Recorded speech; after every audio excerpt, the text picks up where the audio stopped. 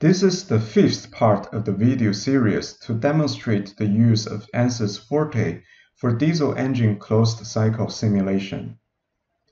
In the previous part, I have started setting up the spray models by a solid cone injector and specified the fuel compositions.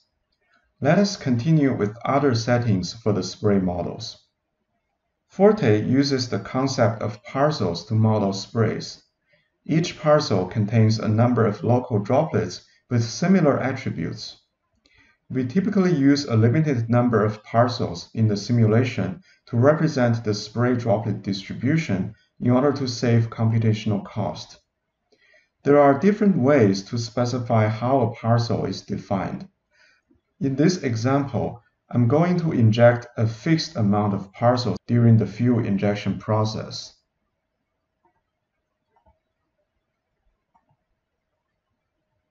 I also want to specify the discharge coefficient, 0.7 for the injector nozzle, and the mean cone angle near the nozzle hole exit as 15 degrees. In practice, these two parameters should be estimated based on the specific injector to be simulated. Now, for this injector, let us specify the fuel injection process in more detail by creating a new injection. I want to set the start of injection as minus 22.5 degrees. And that is 22.5 degrees before piston reaching top dead center. And the duration of the injection as 7.75 degrees. I want to use a sine function to approximate the fuel injection velocity profile.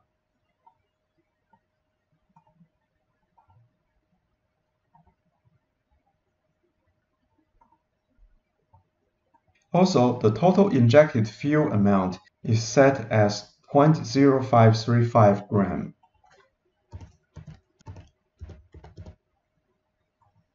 Note that this is the total amount of fuel injected into the whole combustion chamber. Since I'm simulating a 60 degree sector of the chamber, the actual amount of fuel injected into this sector domain will be 1 over 6 of the total amount specified here. From the fuel injector, I also need to specify more information about the nozzle, that is, where it is located and where the spray injection is directed and what is the nozzle size.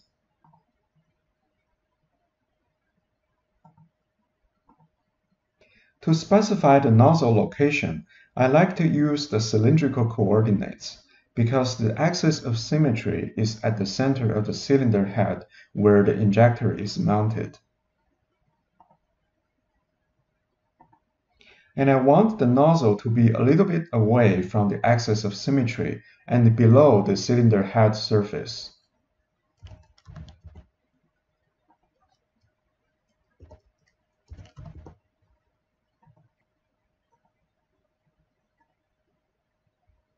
After specifying the direction of the spray injection,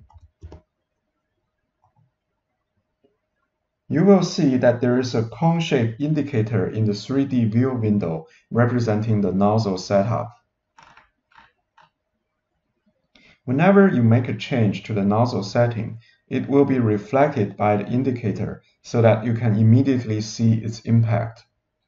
For example, what if I change the spray injection direction from 104 degrees to 130 degrees? You can immediately see the change by the tilted angle of this indicator.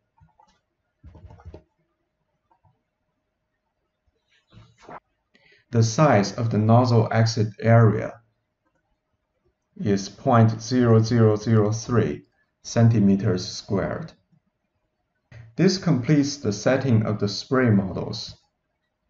In diesel engines, we are also interested in predicting soot emission. Forte offers two types of soot models, a popular two-step semi-empirical model which predicts soot mass, and a more advanced method of moment model which tracks not only soot mass but also particle size distribution.